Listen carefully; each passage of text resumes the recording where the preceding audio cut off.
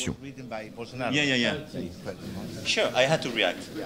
You understand that? I want to be very peaceful and to, I mean, to be constructive with the guy and to respect his sovereignty. Fine, but I can, I cannot accept that. No. But you know what he did when my foreign affairs minister came to this country? I know. He was supposed. He was supposed to receive him. He cancelled at the very last minute in order to cut his hair, and he filmed himself. I mean, I'm sorry, it's not the behavior of a president.